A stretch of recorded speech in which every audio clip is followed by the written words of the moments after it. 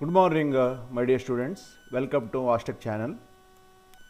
Today, we will see one more experiment uh, related to microprocessor and microcontroller lab of uh, four semester CSE and ISE of UT, VTU syllabus uh, using uh, ARM controller.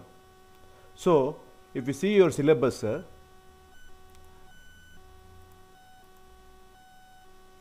so in your syllabus in part A, in your syllabus in your part A, you can see sixth experiment that is to write and simulate ARM assembly language program for data transfer, arithmetic and logical operation demonstrated with the help of suitable program that one. And the seventh experiment to write and simulate C program for ARM microprocessor using Keil and demonstrated with the help of uh, suitable C programs. That is the two software experiment uh, that you study related to ARM. Rest of the experiment here are related to 8086. Like in part B also, 7 to 11 experiment is related to hardware uh, uh, hardware of uh, uh, 8086 uh, and uh, you can see here uh, 12th and 13th experiment uh, hardware related to ARM controller. We have to use ARM controller LPC 2148 and we have to implement this one. So today we will see software experiment. Before proceeding to before proceeding to do ARM uh, experiment directly. Uh, we will see a couple of points. What is required here? Now what is ARM stands for? ARM stands for advanced RISC machine. It's a modern generation processor. It is an advanced RISC machine. The name itself RISC reduced instruction set computer or computing. So that makes uh, ARM a powerful processor. The what are the qualities of the ARM is like uh, almost all instructions are uh, 32 bit instruction. And I am talking with respect to ARM 7 it has 32 bit instruction and 32 bit data bus and 32 bits bit uh, address bus. So almost all instructions will be executed in uh, one cycle in ARM that's why ARM processor will give uh, much uh, uh, uh, performance, greater performance uh, compared to our CISC processor what we use in uh, uh, Intel family. So, RISC processor are designed to perform, you can see here RISC processor are designed to perform smaller number of type of computer instruction. Because of ARM, modern generation processor, today we are able to use our smartphone, tablet, multimedia players and other mobile device and because of the reduced instruction set uh, it requires uh, few transistor which enables the enables a smaller die size for the integrated circuits. So what are the other features of the arm all these features we will discuss uh, when i upload uh, the video related to arm theory. So arm processor has got following features still.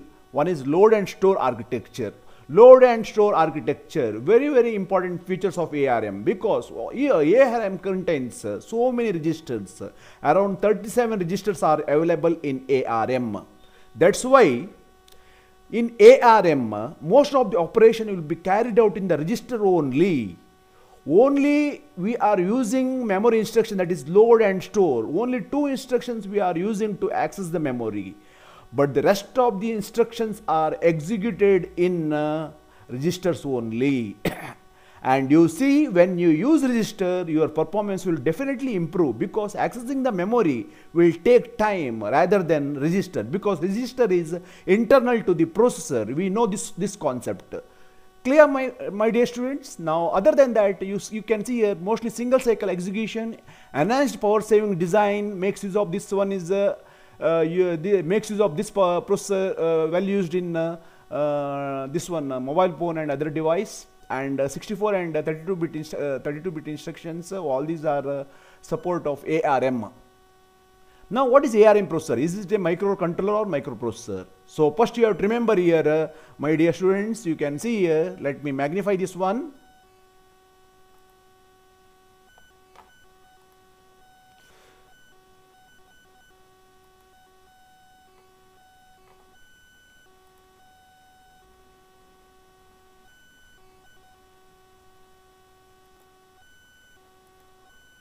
So you can see here, uh, ARM is a processor or microcontroller.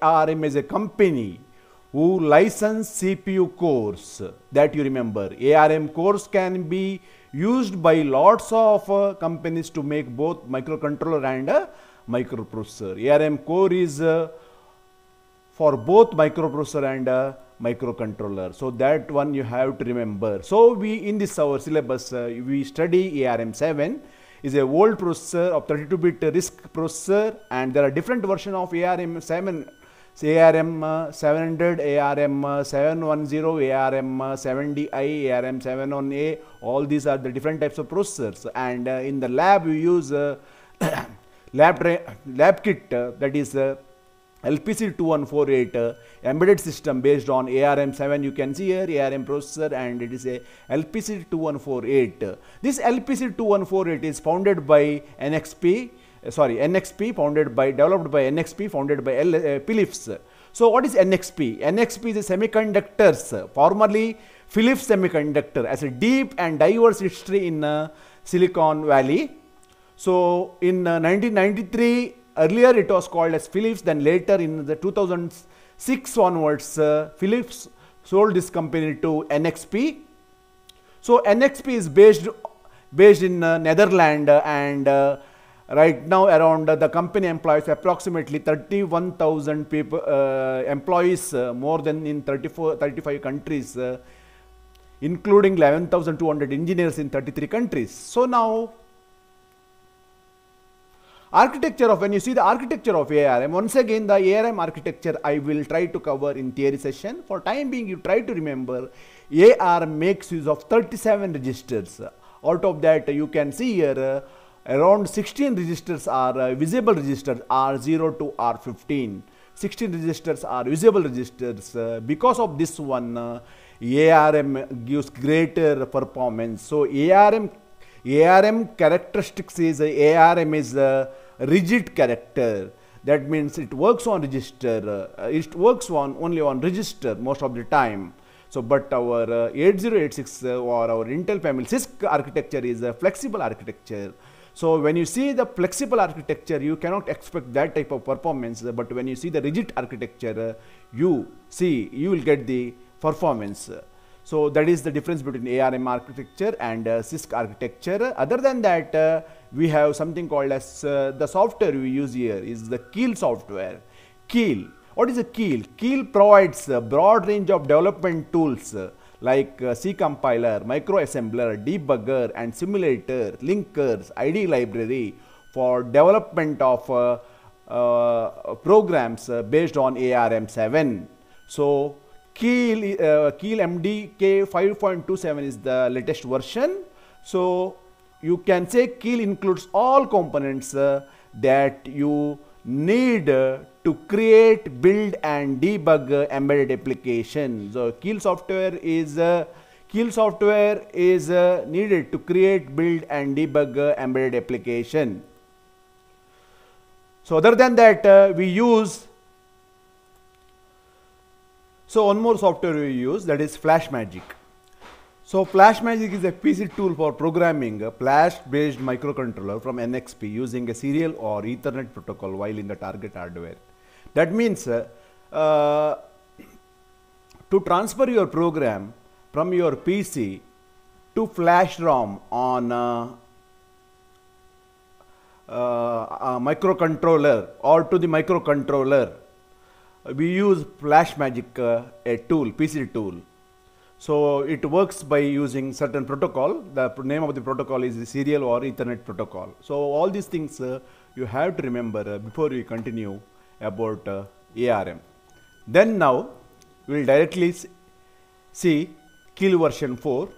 Keil version 4 is the software we use. Keil microvision 4 is the software we use. When you click on Keil version 4, Suppose if any project window is open, you have to first uh, close the project. So let me close the project here. First uh, close the project.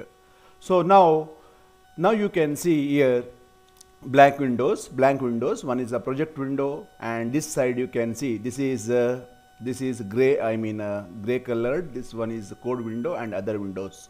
So uh,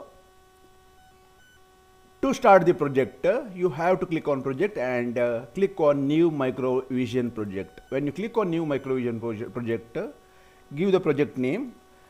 Let us give the project name here now TEST test 2 3 something like this or uh, I will give the project name test uh, uh, 35 then save it that time it will pop up you to select the microcontroller. As I said, uh, you will select uh, NXP founded by Philips.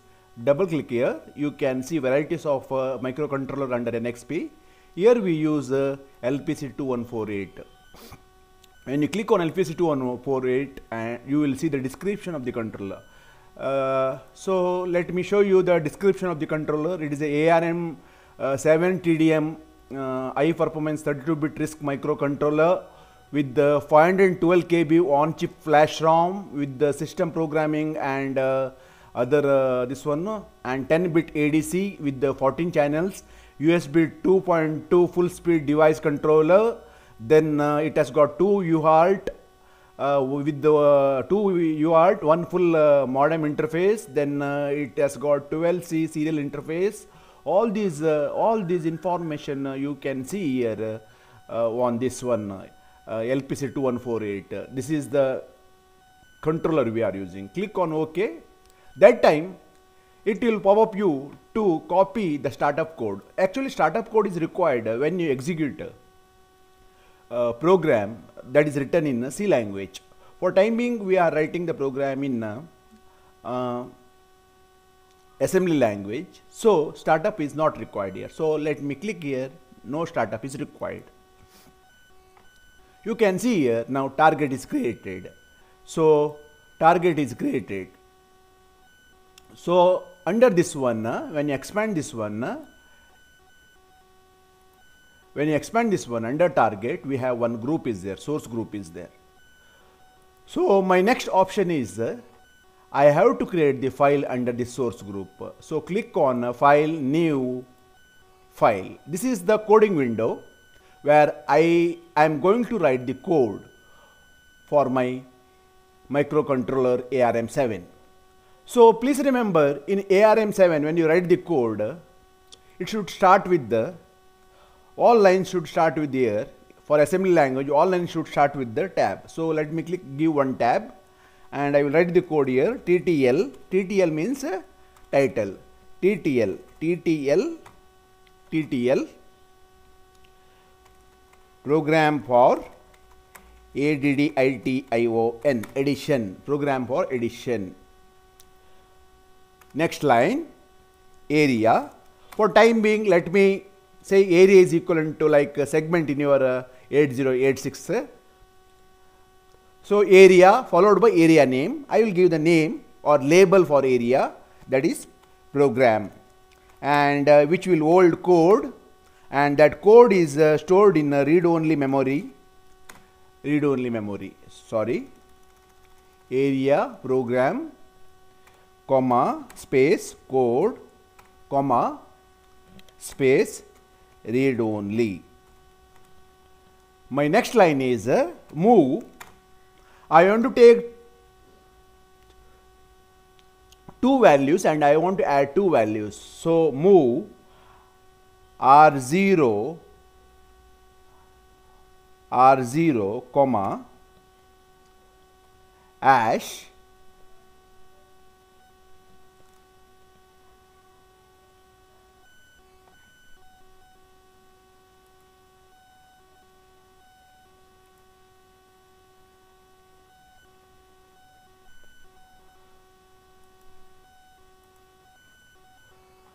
R0 shift of ash 0x05. Here any number preceded by ash indicates that is the data to the data and that is moved to R0 and X indicates is the hexadecimal data. The second line move R1 comma once again ash 0x05 sorry 06 let me take 06 then I want to add these two numbers add and I want to store the result in R2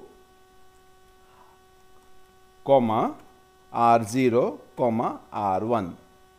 What is the meaning of this one? The meaning of this one is, uh, let me write here command, uh, that is meaning of this one is uh, R2 is nothing but uh, R1 plus uh, R0 that is the meaning.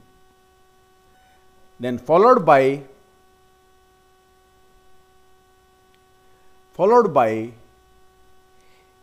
LBL. So this statement, uh, this statement uh, we will not give the tab for this statement.